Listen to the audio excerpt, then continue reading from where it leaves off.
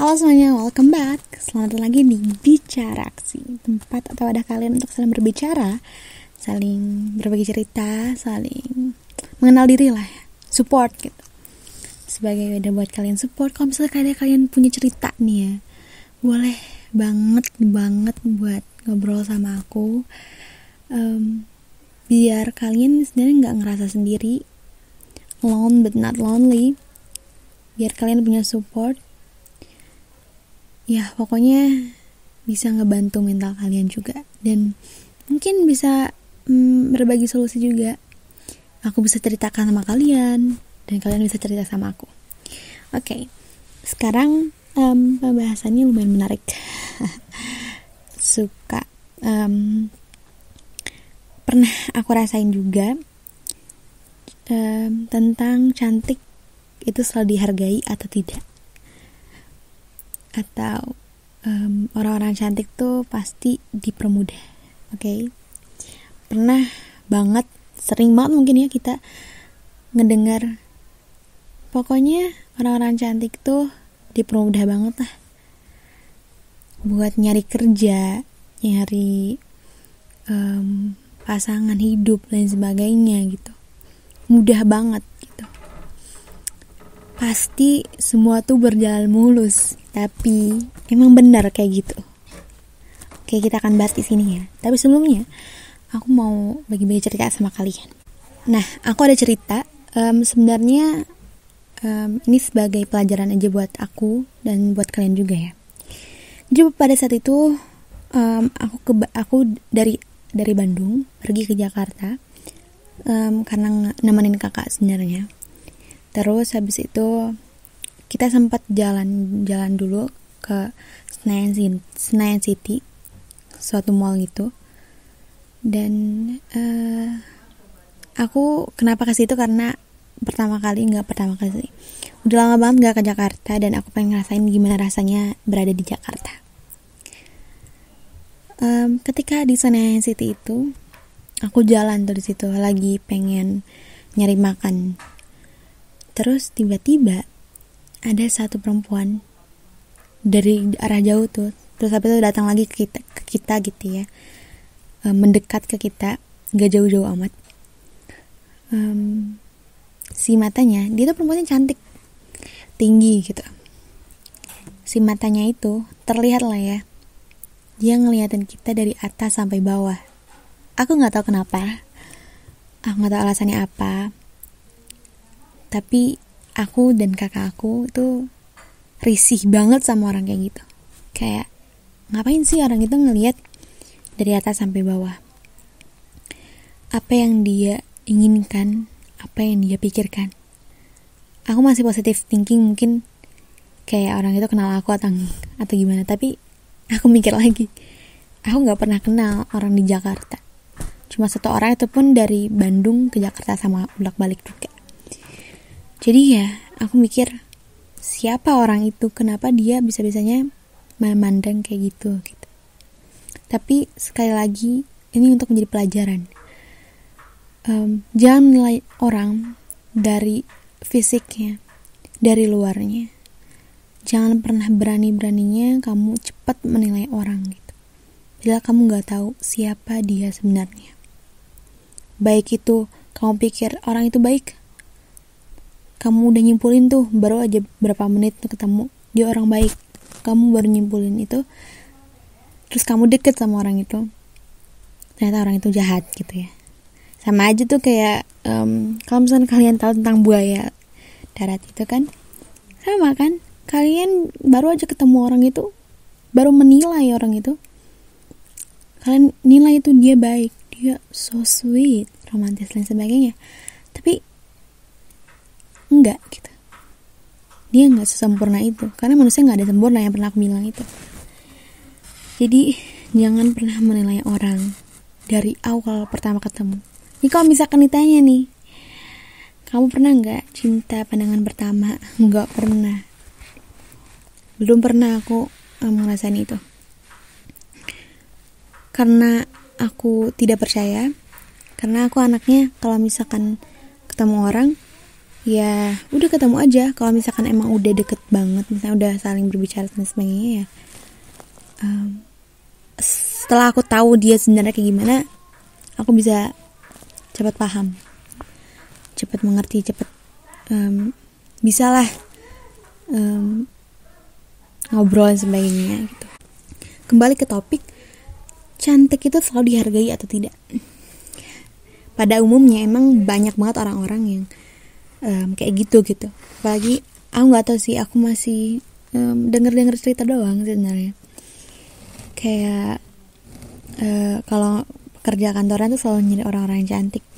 Supaya ter orang-orang si apa namanya konsumen-konsumen itu tertarik. Nah kadang kala un, uh, untuk yang merasa kurang gitu ngerasa ih aku kurang cantik dan sebagainya itu ngebuat mereka untuk takut um, mendaftar atau lain sebagainya gitu. Membuat mereka skill mereka menurun. Jadi perspektif itu dari orang lain itu dari orang-orang yang memandang cantik itu penting banget gitu. Um, harus dirubah. Jadi ngerasa kayak kemampuannya tuh nggak berkembang gitu. Kayak nggak percaya sama kemampuan yang dimiliki. Kayak ah udahlah. Aku nggak cantik aku pasti nggak bakal diterima. Dan itu aku rasain sebenarnya. Aku suka banget komunikasi. Dan aku ngelihat orang-orang yang example kayak MC dan sebagainya. Atau bukan MC sih penyiar radio. Um, pembaca berita dan sebagainya itu beautiful gitu cantik. Dan aku ngerasa kayak bisa nggak sih aku kayak gitu? Dengan keadaan aku seperti ini. Tapi itu kesalahan aku. Aku nggak boleh mikirin itu. Bagi kalian yang sama kayak aku stop mikirin itu. Stop punya perspektif kayak gitu. Karena itu akan menghambat banget sebenarnya. Dan percaya aja ketika kamu memiliki kemampuan itu ya kamu kembangkan kemampuan itu tunjukin gitu bahwa kamu tuh bisa. Kamu bisa ngelakuin itu. Bisa berada di sana dan nggak selamanya orang yang cantik yang nggak punya skill gitu yang nggak punya skill maksudnya kurang gitu skillnya daripada kalian berada di sana gitu. So kadang um, cantik itu tadi nggak cuma fisik aja. Cantik itu nggak cuma um, kurus badannya putih glowing enggak sama sekali. Cantik itu dari hati dan dari skills yang kita miliki. Dari motivasi kita juga.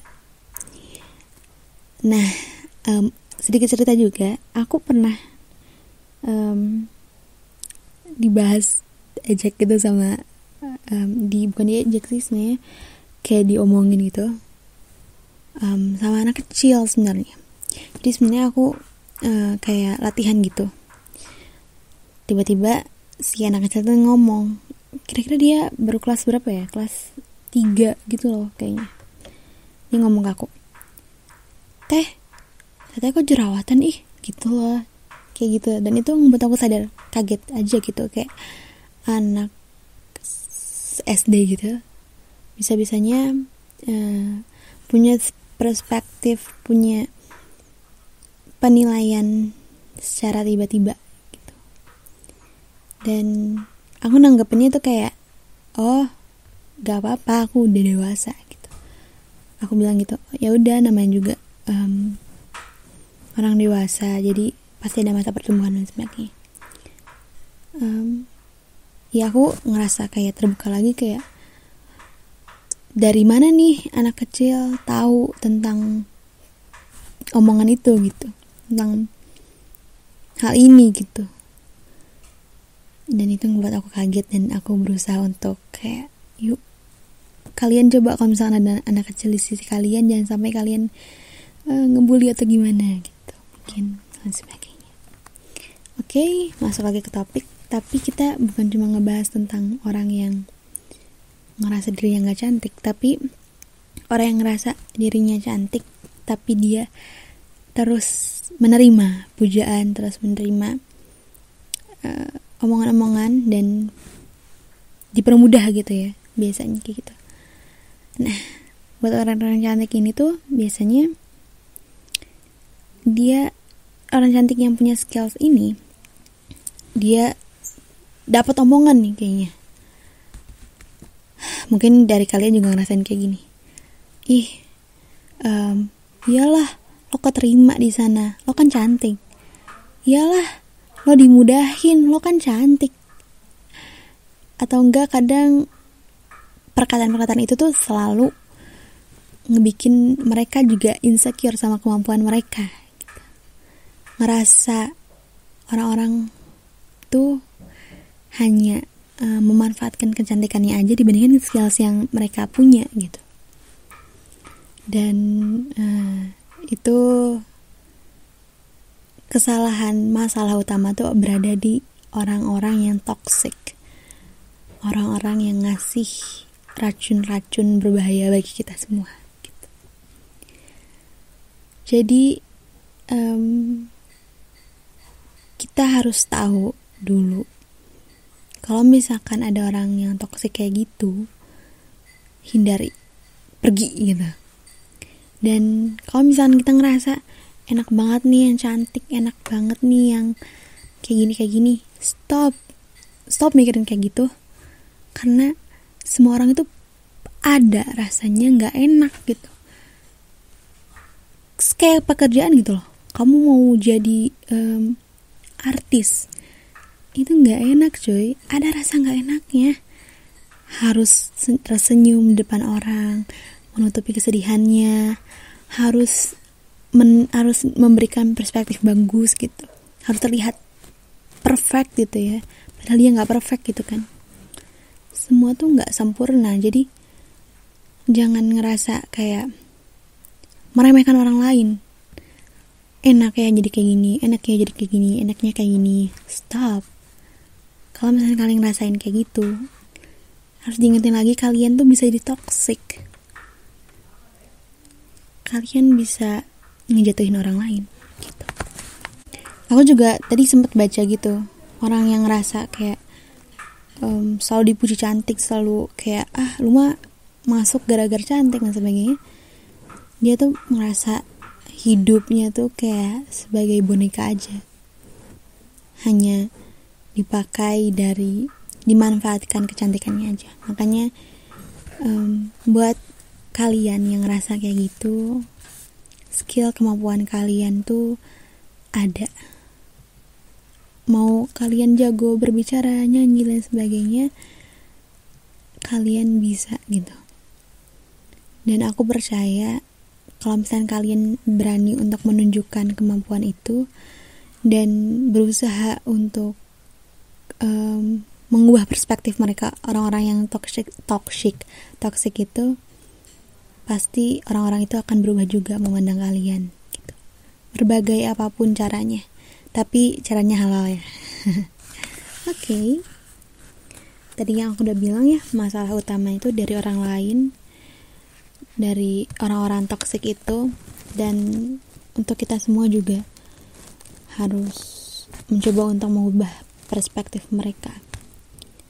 Dengan cara bisa untuk menunjukkan kemampuan kalian ke mereka. Gitu. Mungkin segitu aja pembicaraan kita kali ini. Agak bingung lagi soalnya tapi nggak apa-apa. Mungkin kita akan bertemu lagi di lain hari. See you lagi di podcast selanjutnya. Bye